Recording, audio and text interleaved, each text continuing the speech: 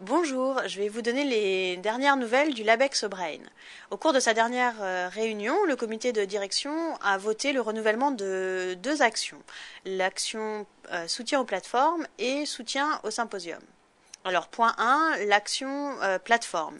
Donc, l'année dernière, nous avions identifié 10 plateformes qui sont utilisées par les membres de la SFR Neurosciences et nous les avions subventionnées. Donc, on renouvelle cette action pour un montant global de 900 000 euros et vous trouverez la liste de ces 10 plateformes euh, et du, fonctionnement et de l'équipement que, le LabEx Brain euh, soutient. On vous avait annoncé que nous rembourserions les factures d'animalerie des universités euh, à hauteur de 45%.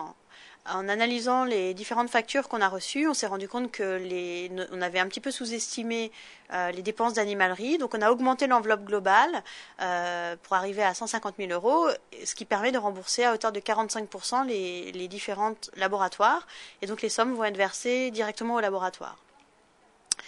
Alors le point 2, les symposiums. Donc je vous rappelle que le Labex Brain soutient financièrement l'organisation de symposiums en Aquitaine.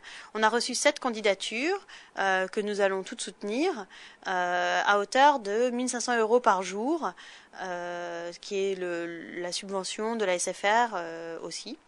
Et donc ce qui nous amène à un total de 25 000 euros. Vous trouverez la liste des, symposiums sur le document. Et enfin, je voulais vous annoncer aussi, euh, la SFR Neurosciences et le LabEx Brain s'associent pour l'organisation d'une conférence internationale à Bordeaux, un cycle de conférences annuelles de haute visibilité.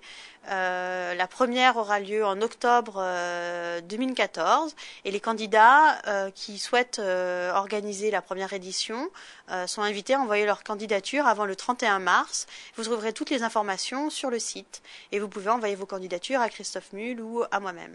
Je vous remercie de votre attention.